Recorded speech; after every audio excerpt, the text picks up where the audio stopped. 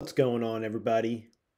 Today, we're going to walk you through step by step how to buy Dogecoin on the Uphold platform. Let's get right into this. So, first off, you need to make it over to uphold.com. You can see up here in my search bar, uphold.com. It's got the lock, it's a secured website. So once you're here on the home page of Uphold, I am on a laptop. If you're on the computer here, you will go up to your right hand side where it either says log in or sign up, depending on if you have an account or not. I have an account that I made for these videos, so I'm already logged in. I'm going to click over here to my Uphold wallet. If you don't have an account, hit sign up, go through the steps, confirm your email, set up your two step Google authentication, and it's pretty quick. And Uphold does a great job at walking you through the steps to get your account set up properly. So I'm going to click over here to my wallet since I already have an account.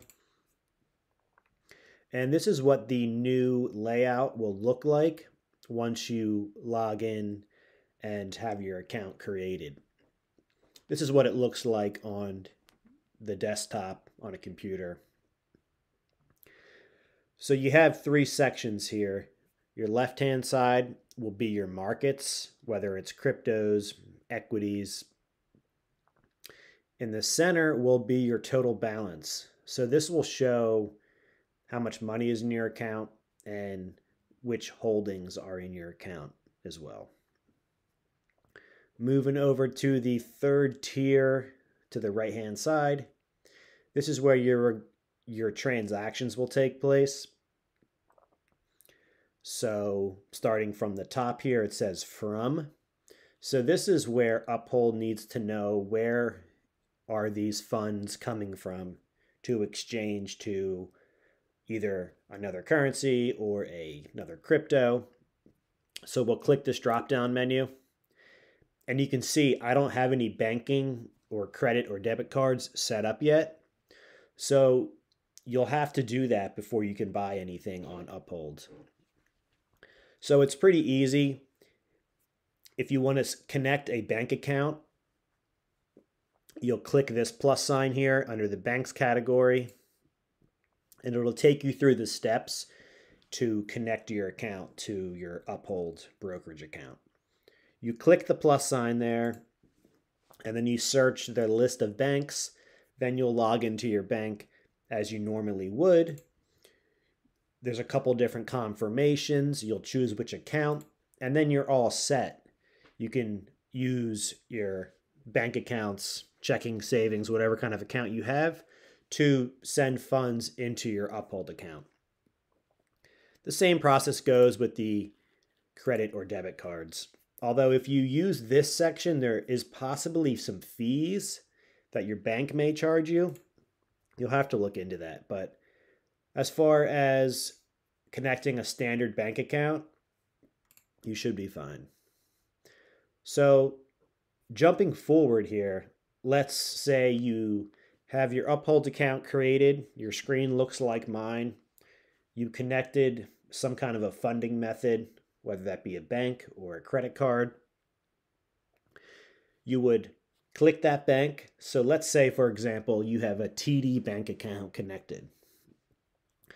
Right under here, it'll show that account and that account number. You'll click that, and then that window will close and then you will choose the the currency here. For me, it's US dollars. For you, it may be something else. But there is a vast list here of currencies to choose from. So please choose which one fits your situation. Once you have that set up, now you're ready to choose what you want to do. For this example, we are going to buy Dogecoin. So we can search right up here. Now we're in banks in the green. We'll go over to cryptocurrencies and we'll search for Dogecoin. And there it is. You can see it pops right up. So we'll just click that. And now we are ready to type in how much Dogecoin we want.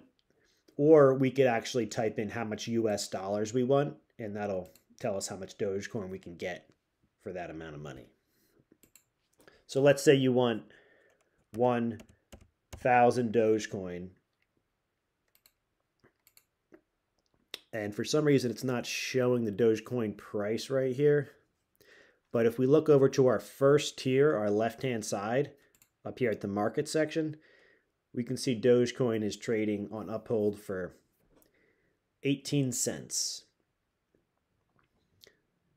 So it'll be the 1,000 shares we want times the 18 cents, and that'll give you how much, for this example, US dollars that would cost.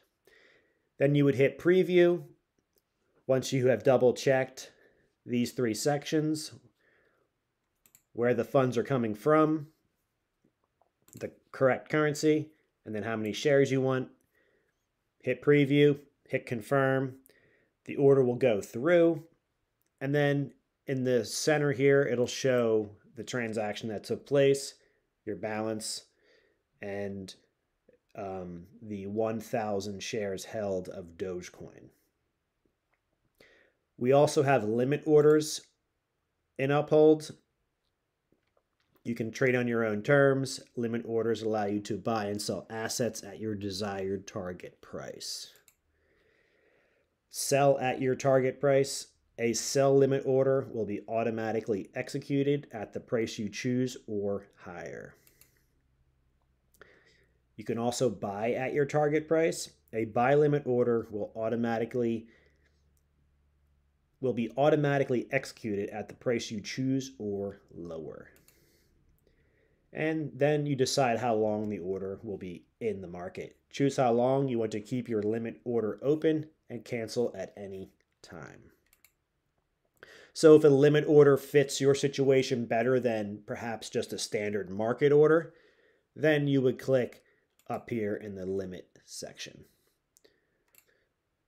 So that's going to wrap it up for this video.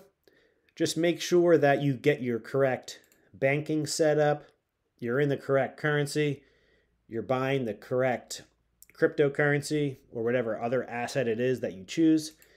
Double check, hit preview, confirm, and right in the center here, you will see that you own, for this example, 1000 Dogecoin or whatever it is you choose to buy on your Uphold account. All right, that's going to wrap it up. Let me know down in the comments what you think of this video. What is your experience with Uphold? I will leave links down below for Uphold and also our micro futures trading Patreon page. And you guys can check them out if you'd like. All right, take care, and I'll see you in the next video.